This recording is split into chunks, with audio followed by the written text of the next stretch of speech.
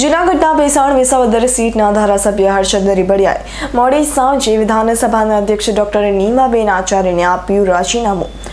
સૂત્રો અનુસાર જાણવા મળેલ કે દિલ્હીમાં રાષ્ટ્ર કોંગ્રેસના પ્રમુખને લઈને રાજકીય સ્પર્ધા જામી હતી અને બીજી તરફ રાજસ્થાનના મુખ્યમંત્રી ગુજરાતના પ્રભારીની રેસમાં હતા, જેને લઈને આજે ગુજરાત કોંગ્રેસ ધણી ધોરી વગરની થઈ ગઈ છે. વિધાનસભાની ચૂંટણી ટાણે જો કોંગ્રેસમાં ગાબડું પડ્યું અને કોંગ્રેસને બાય બાય કર્યું. અને સૂત્રો અનુસાર જાણવા મળતી માહિતી મુજબ કે હવે ટૂંક સમયમાં તેઓ કેસરીઓ ધારણ કરે તેવી શક્યતાઓ જોવા મળે છે.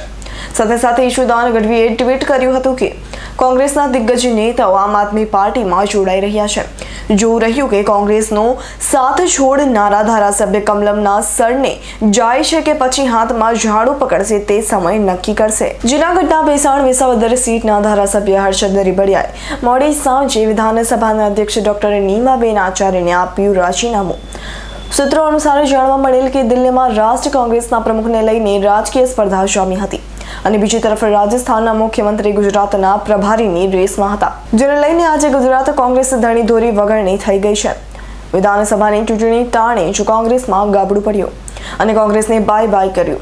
અને સૂત્રો અનુસાર જાણવા મળતી માહિતી મુજબ કે હવે ટૂંક સમયમાં તેઓ કેસરીઓ ધારણ કરે તેવી શક્યતાઓ જોવા મળે છે.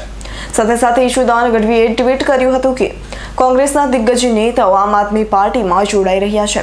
જોવું રહ્યું કે કોંગ્રેસનો સાથ છોડનારા ધારાસભ્ય કમલમના સરને જાય છે કે પછી હાથમાં ઝાડુ પકડશે તે સમય નક્કી કરશે. કાસમ હુથીનો રિપોર્ટ બેસાણ